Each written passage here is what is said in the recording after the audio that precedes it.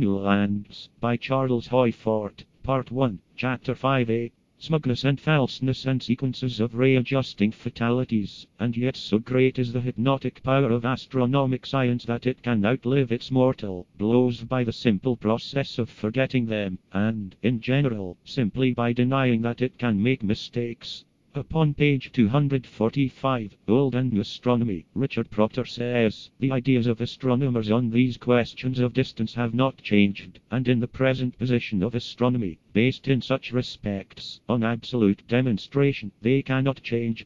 Sounds that have roared in the sky, and their vibrations have shaken down villages, if these be the voices of development, commanding that opinion shall change, we shall learn what will become of the proctors and their absolute demonstrations.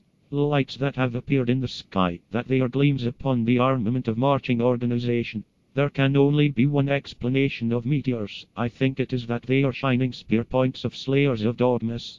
I point to the sky over a little town in Perthshire, Scotland. There may be a new San Salvador. It may be a new Plymouth Rock. I point to the crater Aristarchus of the moon. There, for more than a century, a lighthouse may have been signaling.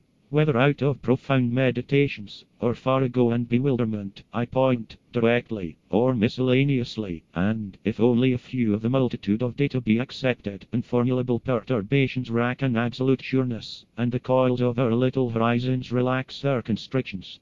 I indicate that, in these pages, which are banners in the cosmic procession, I do feel a sense of responsibility, but how to maintain any great seriousness I do not know, because still is our subject astronomical triumphs.